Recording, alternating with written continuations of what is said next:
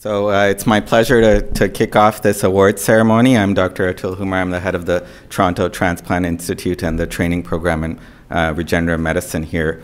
Um, so uh, uh it's a real honor to today to uh, host the Edogawa NICHE Prize. Uh, the um, Nichi-In Center for Regenerative Medicine has been a close collaborator of ours for over 10 years now um, with the training program in regenerative medicine, which is hosted by the Toronto Transplant Institute. And uh, through this collaboration, uh, I think we've had over 60 trainees in, in India and Japan participate in the training program for regenerative medicine today, uh, to date. Um, so uh, I'm really uh, proud that all of you are able to join us here. We have Dr. Kato, uh, from Japan, and Dr. Samuel Abraham, Abraham, who's been a close colleague and collaborator of ours, uh, and Dr. Gary Levy, who uh, started the training program in regenerative medicine some 15 or more years ago. Um, and uh, of course, Dr. Rosenberg, who I will ask uh, Dr. Levy to introduce. So,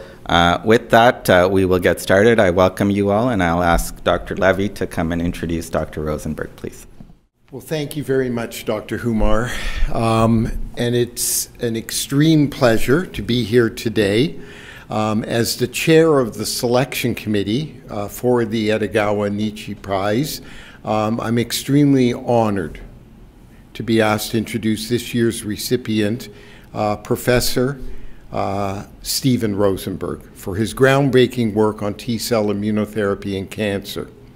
I also want to take this opportunity uh, to thank uh, Dr. Samuel Abraham for his leadership uh, in the establishment of the Nichi-In Regenerative Medicine Institute, which uh, we have partnered with, as Dr. Humar stated, for over 15 years and was established to promote basic research and clinical application in the field of regenerative medicine.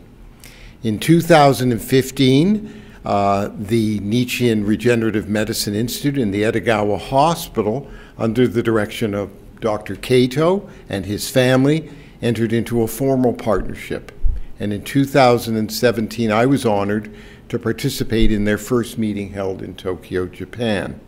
At that time, the chairman of the Edogawa Hospital, Dr. Masahiro Kato, announced the establishment of the Edogawa NICHE Prize uh, to be awarded to a physician and or scientist from around the world chosen by the Edogawa NICHE Prize Committee, which is shown here on this slide, which I've been asked uh, to chair, and it's based on the contribution to the development of healthcare solutions that lead to prevention, diagnosis, or treatment of any disease which is the result of an interdisciplinary interaction among different fields of science. Last year, the Edogawa Prize was awarded to Dr. James Till, Professor Emeritus at the University of Toronto for his groundbreaking discovery of stem cells, which has had broad applicability. This year, we're pleased to present this prize to Dr. Steven Rosenberg. Just a few words, because I don't want to cut into his time. Dr. Rosenberg was born in New York, the Bronx formerly, but we'll say New York in the United States and received a Bachelor of Science in 1960, a medical degree in 1963 at Johns Hopkins University. He then completed a residency at the Peter Bent Brigham Hospital in 1974, where he earned a PhD in biophysics from Harvard University. Following completion of his surgical residency, he became chief of surgery at the National Cancer Institute, a position he continues to hold.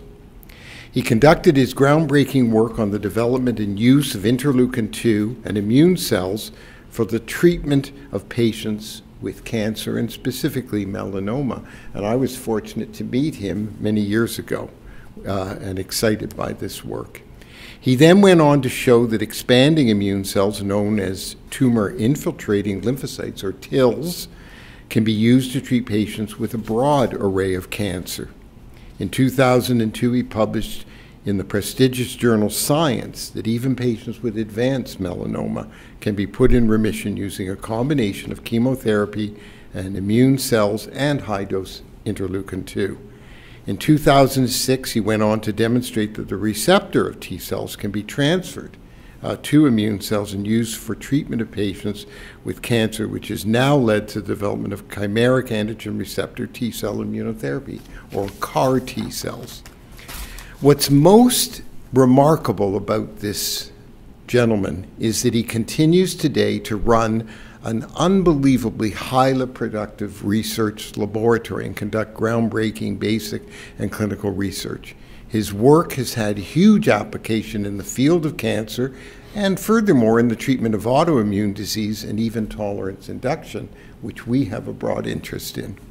Dr. Rosenberg has received many honors for his groundbreaking discoveries, including the Golden Plate Award of the American Academy of Achievement in 1992, the William Coley Award for Distinguished Research in Tumor Immunology of the Cancer uh, Research Institute in 2011, the Keio Medical Science Prize in 2013, and the Medal of Honor of the American Cancer Society in 2015. And that is not all.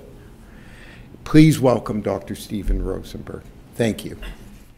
Well, thank you for those very kind remarks. And in fact, it is indeed a great honor for me to uh, receive this uh, Edogawa NICHE uh, prize, and I thank you. Uh, I thank you uh, for that. I'm sorry I couldn't actually come to Japan. My schedule didn't allow me to take that uh, trip away from uh, away from my laboratory and, uh, and patients, and I'm delighted that I have a chance, at least, to uh, present, uh, to accept this award, uh, and especially proud and happy to understand that there are many young students who are going to be at this meeting that will get to that will get to hear this. So my thanks, not only for your kind comments, but for the uh, foundation that awarded this, uh, this prize. And it's a remarkable honor to join Dr. Till uh, in receiving this award. What I'd like to do in the next 10 minutes or so is provide a very brief summary uh, of the work that I've been doing for the last three decades or so uh, trying to develop new immunotherapies for the treatment of patients with cancer. As you know, we have surgery, radiation, and chemotherapy, three modalities that are commonly used in treating cancer patients, and they can, in fact, cure a little over half of patients that develop cancer in the year 2019. But the half of patients that cannot be cured uh, in the United States, for example, resulted in 600,000 deaths, one out of every three to four people now alive. And most countries will die of uh, cancer unless we find better treatments to join surgery, radi radi uh, radiation therapy, and chemotherapy. And so for over three decades, I've been working on attempts to develop what's called immunotherapy, and that is an attempt to take advantage of the body's own natural immune defenses to fight the disease the body recognizes a cancer as foreign, uh, but not foreign enough to reject it. And I was quite taken early in my residency training in surgery when I saw a patient come into an emergency ward complaining of right upper quadrant pain. Uh, it was a typical gallbladder attack, and when I was in the emergency ward and flipping through his chart, I saw that uh, 12 years earlier he had come to this hospital with a stomach cancer that had spread to his uh, that had spread to his uh, liver he was opened by the surgeons. They biopsied the liver metastases. They showed that it was, uh, it was in fact a metastatic cancer. They closed his abdomen, sent him home, never expecting to see him again. But as I flipped through the chart, I saw year after year he kept returning. And here he was 12 years later uh, with what appeared to be a gallbladder attack, one of the first operations I did as a young surgeon. Uh, we removed his gallbladder, examined his belly. His cancer had disappeared. Somehow, he had undergone what's one of the most rare of events in medicine, and that is a spontaneous regression of a cancer in the absence of any therapy. And it was this observation that somehow the body had the wisdom to attack the cancer. It was only the fourth report of this ever in the medical literature and completely destroy it. And it seemed that it was the immune system that had the power to do this. And that led me, when I came to the National Cancer Institute as the chief of the surgery branch, to devote my efforts to developing ways to treat the immune system to treat cancer. And our first attempts were to non-specifically stimulate the body's uh, immune system by treating patients with interleukin 2, a hormone produced by lymphocytes in the body that is a non-specific stimulant of the immune system. And in performing this work, we started working with uh, natural mammalian IL-2 that we would produce in the laboratory. Uh, we started adding that with a kind of cell called a lymphokine activated killer cell that was produced with the interleukin 2. Uh, we then started giving high doses of recombinant interleukin 2 to patients, and you could see we treated 66 patients uh, and published this uh, work. We didn't see a single response in any one of the first 66 patients. It was only when we moved to very high dose bolus interleukin 2 given every eight hours based on the pharmacokinetics of what it would take. The half-life of interleukin 2 is only about seven or eight minutes in vivo, and so it has to be given repeatedly. And it was only in November of 1984 that we treated the first patient with high-dose interleukin 2 uh, with a regimen that we had, uh, that we had developed. Uh, and it was this patient, uh, Linda, who had had a melanoma. It had spread. She had received alpha interferon. Uh, hadn't worked. She was told to go to Europe and travel around. She only had a short time to live. But she was the first patient that we uh, treated with high dose interleukin 2 uh, with this schedule. She underwent a complete regression of widespread metastatic disease and remains free of disease now over 35 later, uh, years, uh, years later. Uh, and she gained some quite renowned at that time. This was the first time that an immune stimulus had resulted in the disappearance of widespread metastatic cancer. And in fact, it was the ongoing developments of interleukin 2 that led to uh, the first U.S. Food and Drug Administration approval of an immunotherapy for the treatment of cancer and renal cancer in 1992 and melanoma in 1998. Well, we knew that this could work, and imagine how thrilling it was to see these first patients back in the 1980s have regressions of metastatic disease. You see here in this, uh, in this x-ray uh, on your left. All those fluffy white areas are areas of the lung that are being replaced by cancer. This patient underwent a complete, complete the regression of her metastatic disease, and we saw this at all organs of the body, including the bone uh, and the liver. At about a rate of 15 to 20 percent of patients would have objective regressions. You could see uh, on the left uh, this large liver metastatic deposit. There were multiple in the body, disappeared completely. Uh, and this patient, again, is completely disease, uh, disease free now, uh, well over 20 years later. So it could work. That led us to start looking at how it could work. And it was clear that there would be T lymphocytes that would be the immune warriors of the uh, immune system that circulate in the body, a million of them in every thimbleful, milliliter of blood that are patrolling the body for foreign uh, invaders. And that led us to begin studying these lymphocytes. And we took this work in two directions. We see here the war that's ongoing inside the body when we do immunotherapy. You see these lymphocytes here in white attaching to tumor cells. They can uh, introduce perforin into these cells and kill them. Uh, they can produce cytokines that bring other uh, immune cells uh, to this uh, battle to try to uh, eliminate the cancer. So we went in these two directions. And one of these was a collaboration uh, that I had with French Anderson, uh, Mike Blaese, uh, that are in this, in this photo.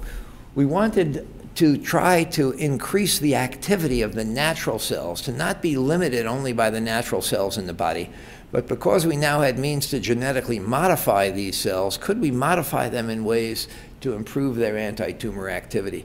Now, this has never, had never been allowed uh, by the FDA or any regulatory group. They considered genetic modification of cells uh, to be too uh, dangerous. In fact, there were lawsuits about the NIH not being allowed to uh, do it. It took about a year to solve that after we wanted to get started, and we finally began our first trial And in fact, 2019 is exactly the 30th year after we received permission from the FDA to treat patients with gene modified cells. It's uh, a few months after the 30th anniversary uh, of the first uh, patient was treated, and we published it a year later in the New England Journal of Medicine.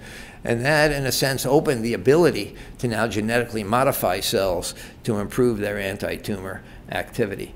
Uh, and to jump many years later, as we began to develop this, we developed an approach in which we could take lymphocytes from patients with lymphomas and leukemias, genetically modify them to target a molecule called CD19 on these lymphomas.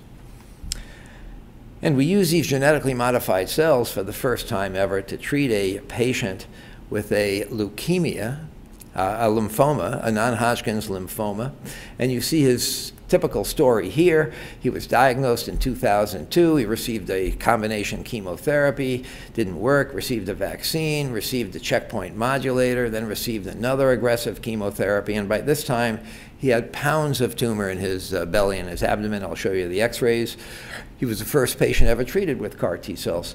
Underwent a complete regression, now ongoing 10 years, uh, 10 years later. And you see his x-rays on the left with the yellow arrows pointing to tumors in his, uh, his axilla, his armpit. You can see the large mediastinal mass in this second X-ray from the top. Uh, those are the pre-treatment X-rays. The post-treatment X-rays are on the right. You can see the enormous spleen in the next uh, uh in the next uh, CAT scan cut, as well as lymph nodes surrounding his aorta and vena cava and large iliac lymph nodes in the bottom. All of his disease disappeared, uh, and he's remained again disease-free since that time. Well, a few years after we reported this first case and had treated other patients, one of my former fellows, Arie Belldegrun, came to see me, wanted to start a company. I'm at the National Institutes of Health. I'm not allowed to be involved with those, but we helped him uh, get started.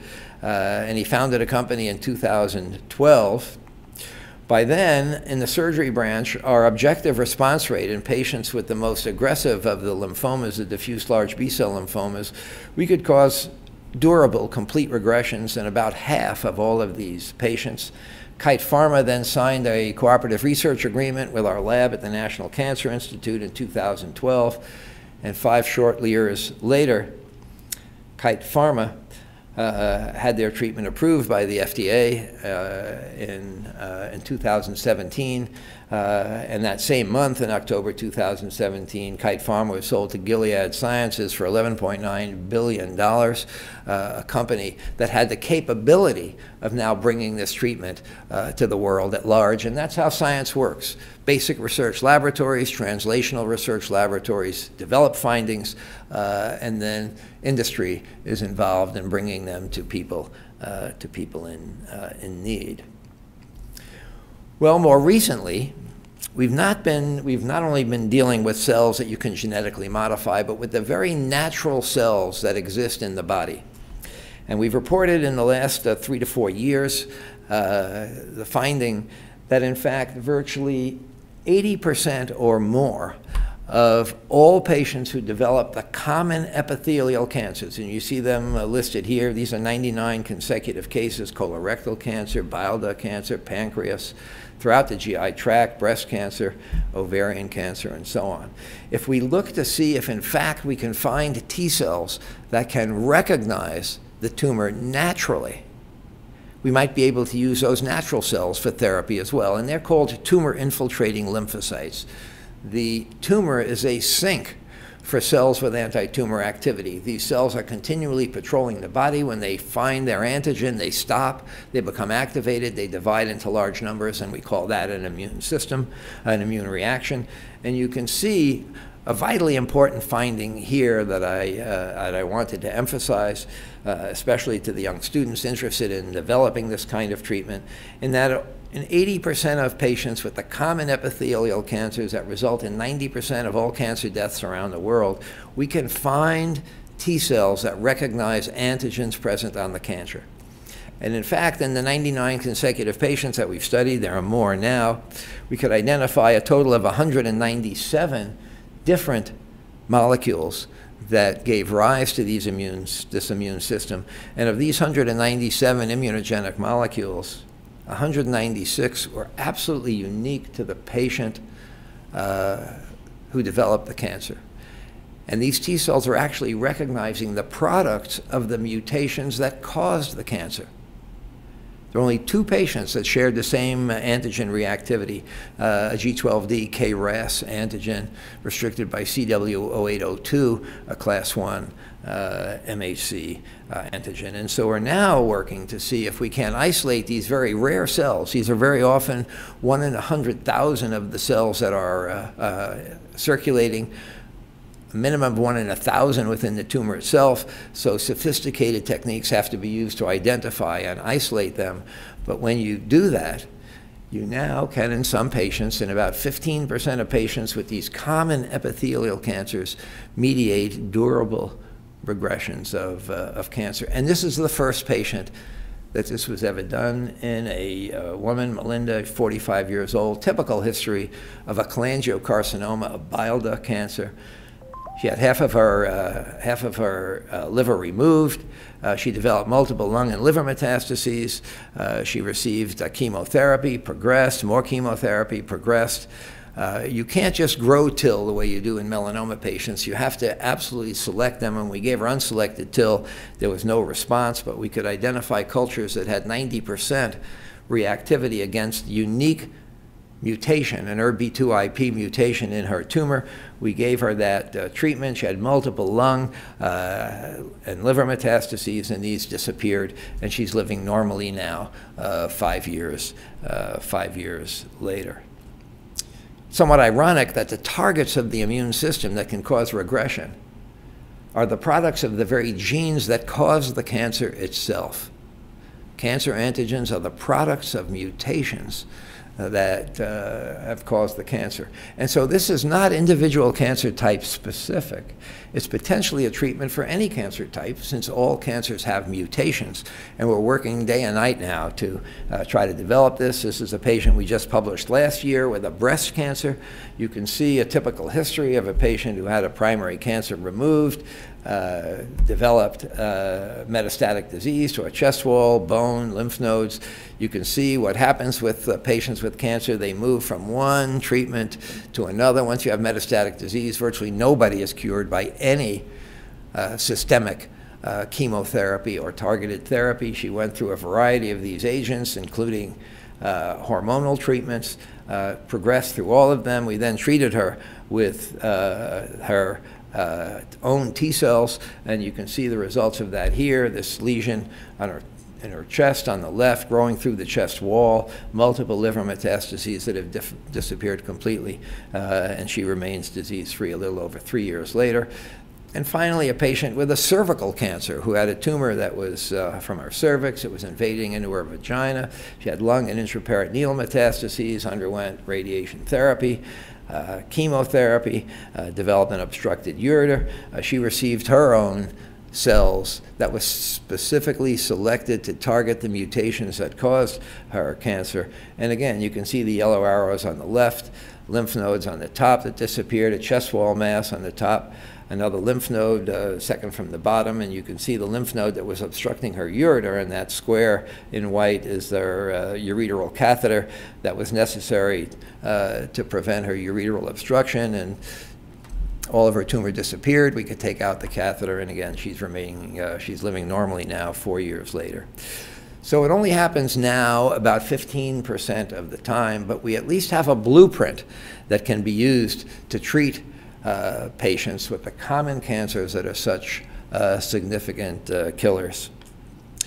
Well, I've, in the course of just 10 or 15 minutes, taken you through well over 30 years of, uh, of research an attempt especially to emphasize to uh, the younger scientists and physicians in the, uh, in the audience that based on clinical observations, that one patient we saw that had that spontaneous regression, you can, by paying attention to your patients and to serendipitous findings in the laboratory, uh, develop clues that can lead you to uh, substantial, uh, substantial findings. So I wish uh, all of the young people hearing this uh, the best of uh, the best of wishes. And once again, I want to thank the Edogawa NICHE group for uh, providing me with this very prestigious award. Thank you very much. So, Professor Rosenberg, first of all, congratulations on your exciting work and success. We're extremely proud to have you here today. And on behalf of the selection committee and the patrons of the Edogawa NICHE uh, committee, please accept this medal. It's a token. Uh, and at the same time, this plaque, which we hope you will hang in your office uh, in recognition of your outstanding contribution Well, to the surely- field of medicine. I surely will be proud to, to, to have this available and let people know about this uh, very prestigious prize. Thank you so much. And maybe we could get some of the other members up here and the committee and uh, so forth. Very good afternoon, everybody, and congratulations, Dr. Rosenberg, on this award. On behalf of the Edogawa NICHE Prize Committee, the patrons, Dr. Masahiro Kato, who is the chairman of the Edogawa Hospital, Professor Masatoshi Koshiba, who was a Nobel laureate in physics in 2002, and my fellow executive member of the committee, Dr. Shojiro Kato, who has come all the way from Japan to join us here. I take this opportunity to first thank you, thank every one of you, especially Dr. Rosenberg, because he having accepted this prize, this prize is honored. And the work that he has accomplished has heralded the birth of a new chapter in the fight against cancer. It's a great hope to people, a wonderful contribution to the society. Thank you, sir. And Professor Gary Levy, as the chair of the awards committee, having been guiding us for the past two years, especially this year, right from the process of selection and the interactions and until arriving at this day. Professor Humar, his team has been kind enough to make us use this facility and their offices for this video recording as well as award ceremony. Ms. Anna Coco, coordinator of the training program of regenerative medicine, and Ms. Carrie Rossiter, secretary of Professor Rosenberg. Sure. Well, thank you. They have been planning very meticulously, minute by minute, what should be done, and all the documentation work, they did it very well. Thank you both very much. Here is Mr. Matt Proctor, Mr. Johnson Michael, Ms. Kimberly Thong, who gave their technical assistance in video recording this event. And it will be remembered forever. And finally, and the most importantly, the associates, faculty, and all the sponsoring and supporting agencies of the training program in regenerative medicine, who are a great source of learning for us.